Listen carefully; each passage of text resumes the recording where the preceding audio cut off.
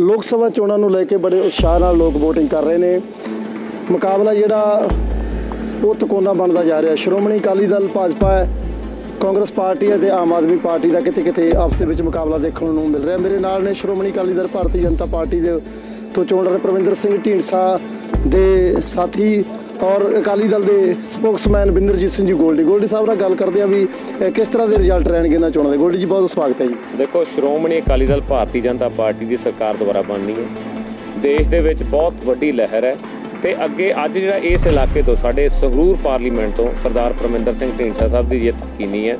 ਤੇ ਜਿਹੜਾ ਮੌਜੂਦਾ ਪਾਰਲੀਮੈਂਟ ਸੀ, ਜਿਹੜਾ ਮੈਂਬਰ ਸੀ ਸਾਡਾ ਭਗਵੰਤ ਮਾਨ ਹੋਰੀ, ਅੱਜ ਲਿਖਾ ਲਓ ਤੀਜੇ ਨੰਬਰ ਤੇ ਰਹਿਣਾ ਉਹਨੇ। ਸੋ ਸ਼੍ਰੋਮਣੀ ਅਕਾਲੀ ਦਲ ਭਾਰਤੀ ਜਨਤਾ ਪਾਰਟੀ ਆਪਣੇ ਕੀਤੇ ਕੰਮਾਂ ਕਰਕੇ ਆਪਣੀ ਪੁਰਾਣੀ ਕਾਰਗੁਜ਼ਾਰੀ ਕਰਕੇ ਜਿਹੜੀ ਹੈ ਇਹ ਨਾ ਵੋਟਾਂ ਦੀ ਜਿਹੜੀ ਰਾਜਨੀਤੀ ਦੇ ਵਿੱਚ ਇਸ ਦੇ ਵਿੱਚ ਜਿਹੜੀਆਂ ਵੋਟਾਂ ਦੀ ਅਸੀਂ ਮੰਗ ਕਰ ਰਹੇ ਹਾਂ ਉਹ ਸਿਰਫ ਆਪਣੇ ਕੀਤੇ ਕੰਮਾਂ ਕਰਕੇ ਕਰ ਰਹੇ ਹਾਂ ਤੇ ਉਸੇ ਦੇ ਬੇਸ ਤੇ ਅਸੀਂ ਜਿੱਤ ਕਾਂਗਰਸ ਪਾਰਟੀ ਤੇ ਆਮ ਆਦਮੀ ਪਾਰਟੀ ਬੇਅਦਬੀ ਨੂੰ ਲੈ ਕੇ ਸ਼੍ਰੋਮਣੀ ਅਕਾਲੀ ਦਲ ਨੂੰ ਘੇਰਦੇ ਰਹੇ ਨੇ।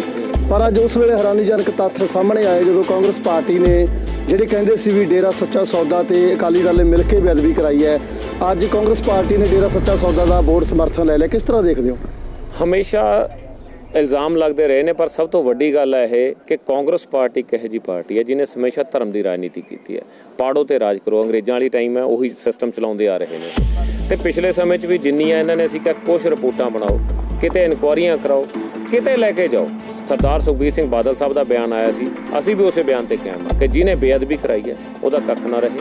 ਤੇ ਜਿਹਨੇ ਬੇਅਦਬੀ ਕੀਤੀ ਹੈ, ਉਹਦਾ ਵੀ ਕੱਖ ਨਾ ਰਹੇ ਤੇ ਜਿਹੜਾ ਤ- ਬੇਅਦਬੀ ਦੇ ਨਾਂ ਤੇ ਸਿਆਸਤ ਕਰਦਾ ਉਹਦਾ ਵੀ ਕੱਖ ਨਾ ਰਹੇ।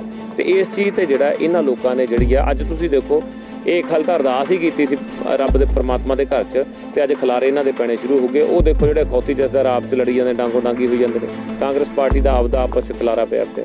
ਸੋ ਇਸ ਕਰਕੇ ਇਹ ਤਾਂ ਇਹ ਇਹ ਇਹ ਤਾਂ, ਇਹ ਸਭ ਨੂੰ ਪਤਾ ਹੈ ਕਿ ਕਿਹਨੇ ਕੀ ਕੀਤਾ। ਤੇ ਦੂਜੇ ਪਾਸੇ ਤੁਸੀਂ ਵੋਟਾਂ ਮੰਗਣ ਦੀ ਕੀਤੀ ਹੈ। ਵੀਰ, ਮੇਰਿਓ, ਮੈਂ ਇੱਕ ਗੱਲ ਕਹਿਣਾ, ਹਰ ਪਿੰਡ ਦੇ ਵਿੱਚ ਆਪਣਾ ਵੀ ਪਿੰਡ ਹੈ, ਇਹ 'ਚ ਵੀ ਸਰਸੇ ਵਾਲੇ ਰਹਿੰਦੇ ਨੇ। ਦੂਜੇ ਪਿੰਡਾਂ 'ਚ ਵੀ। ਕਿਉਂ ਪਾੜਦੇ ਹੋ? ਕਿਉਂ ਗੱਲ ਕਰਦੇ ਹੋ? ਹਰ ਬੰਦੇ ਦੀ ਆਪਦੀ ਆਸਥਾ ਹੈ, ਇੱਕ ਜਗ੍ਹਾ ਆਸਥਾ ਹੈ, ਪਰੰਤੂ ਉਹਨੂੰ ਜੁੜੇ ਰਹਿਣਾ ਚਾਹੀਦਾ ਕੀ ਤੁਸੀਂ ਇੱਕ ਚੀਜ਼ ਦੱਸੋ? ਇਹ ਕਹਿੰਦੇ ਨੇ ਸਰਸੇ ਵਾਲਿਆਂ ਦੇ, ਇਹ ਧਰਮ ਦੇ ਨਾਂ ਤੇ ਵੋਟਾਂ ਦੀ ਗੱਲ ਕਰਦੇ ਨੇ ਕਿ ਜਿਹੜੇ ਪਿੰਡਾਂ 'ਚ ਅਸੀਂ ਭਾਈਚਾਰਕ ਸਾਂਝ ਖਤਮ ਕਰ ਲਈਏ ਜਾਂ ਖਤਮ ਕਰਦੀ ਕਿਸੇ ਨੇ?